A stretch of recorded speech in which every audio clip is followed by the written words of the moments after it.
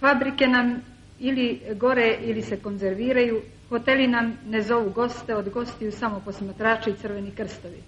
Trpeze sve tanje, epidemije kucaju na vrata, TBC se uvukla u domove, lopovi razvaljuju stanove, na ulicama obračuni, čekovne knjižice i kamate glavna su društvena igra, pred Afiment bankom pogrebne povorke, televizija reklamira domaću legiju kao Coca-Colu, duh se vinuo do berze valuta, prostakluk zasiju u njegovu klupu. Pa gdje je onda život? U Crnoj Gori i Srbiji više se ništa ne može kupiti, pa ni vrijeme, jer sve je stalo.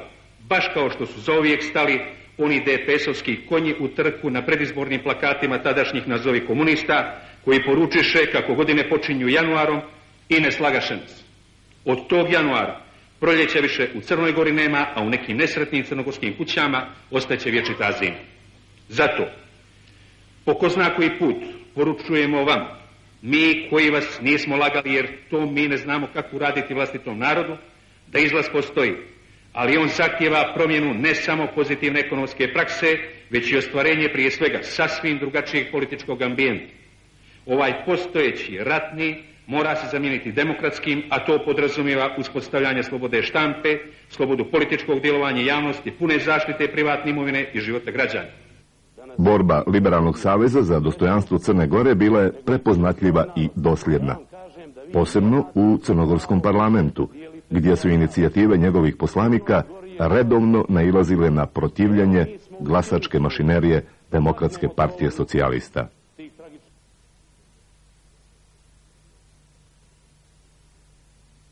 Predlažemo dakle da se u dnevni red uvrsti tačka koju formulišemo kao informaciju ministra unutrašnjih poslova o otmicama izvršenim na području Crne Gore kao i otmici putnika voza Beograd-Bar izvršenoj na teritoriji međunarodno priznate države Bosne i Hercegovine 27.3. ove godine. Ukupno glasalo 76 poslanika, od toga 23 za, 52 protiv, 1 uzdržan.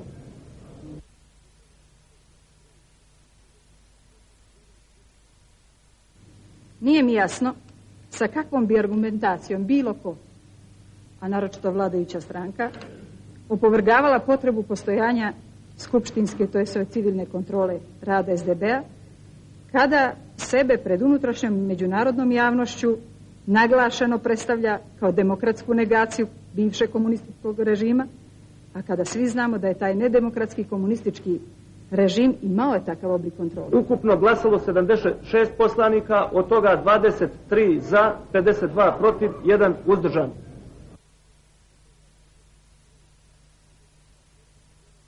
Zato pitam ovu skupštinu, zašto se izbjegava stavljanje na dnevni red zakona o ratifikaciji opcionog protokola uz Međunarodni pakt o građanskim i političkim pravima Ukupno glasalo 76 poslanika, od toga 23 za, 52 protiv, 1 uzdržan.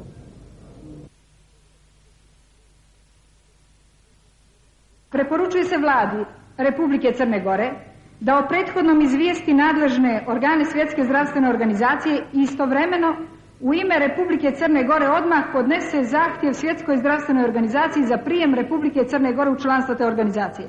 Ukupno glasalo 76 poslanika, od toga 23 za, 52 protiv, 1 uzdržan. Liberalni savez bio je jedina politička snaga koja se u parlamentu i van njega protivila razdržavljenju Crne Gore.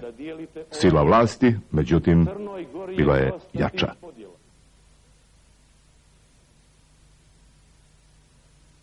Meni nije jasno kako rukovodeće strukture u ovoj republici ne razmišljaju o sebi. Ta manija ukidanja koja je počela eli, od 56. i tako dalje, ukinuto je naučno društvo, institut za proučavanje istorije crnogorskog naroda, tako se zvao institut. Formiran je 48. Pa je nekome smetao taj naslov, pa je postao neutralno istorijski institut.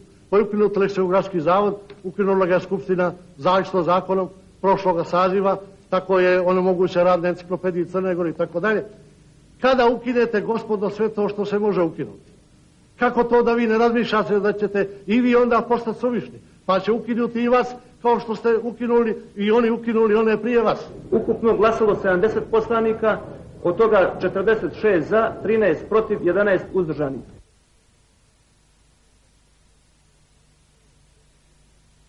Drugovi pokušavaju objasniti kako se zastava koju nam predstavljaju kao crnogorsku naslanja na tradiciju. Na čiju tradiciju, gospodine Žižiću? I ostali alhemičari.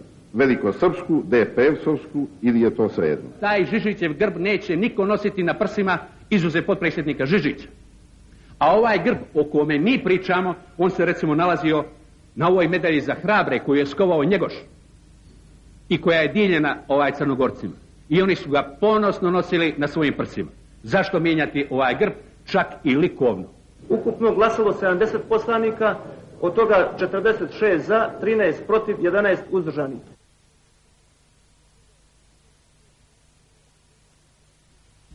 Na jednoj sjednici ukinete ministarstvo odbrane, pa država koja se hiljadu godina i branila isključivo stalnom borbom, ostane, dakle, voljom ove skupštine, dobrovoljno, dakle, bez odbrane, pa se ukine macu iseljenika i vele to će preuzeti ministarstvo svojih poslova, iako vladina organizacija, to sam rekao i onda, ne može ono što može nevladina organizacija, a pogotovo to ne može u vrijeme kaznenih sankcija.